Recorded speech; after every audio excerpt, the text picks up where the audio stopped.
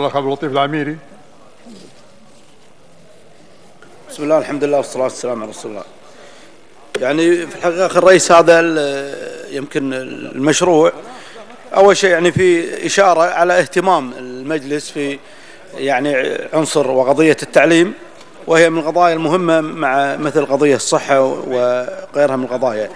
آه، النقطة الثانية يعني إحنا الأخ الرئيس مشكلة في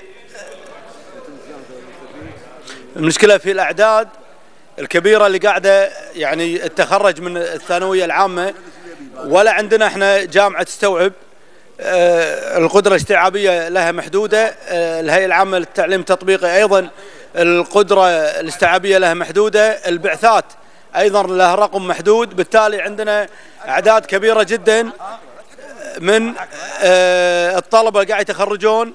أنا أتمنى يعني مع هذا القانون تينا الحكومة في جلسة قادمة آه، تعطينا الأعداد المتوقع تخرجهم.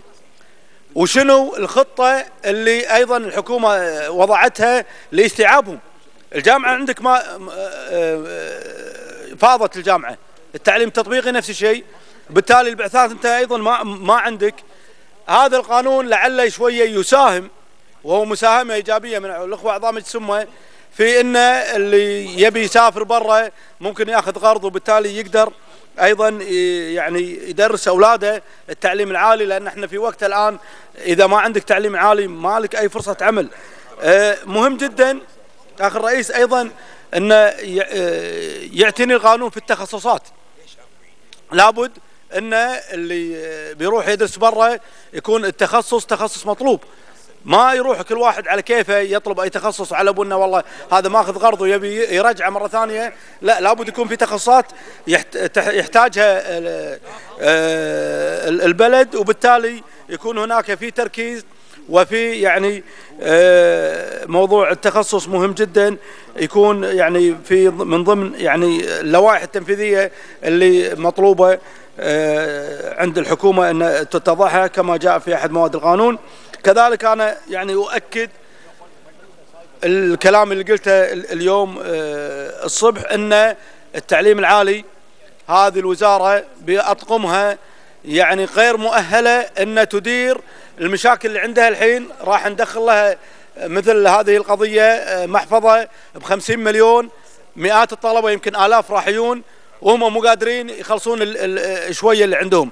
فبالتالي أيضا هذه قضية مهمة جدا إن لابد إن إحنا نفكر فيها. ينشأ جهاز خاص إدارة خاصة يعني أي طريقة معينة. بالتالي لكن نطلع من موضوع التعليم العالي وأنا أتمنى يعني إحنا ما نقعد نتشكى هني.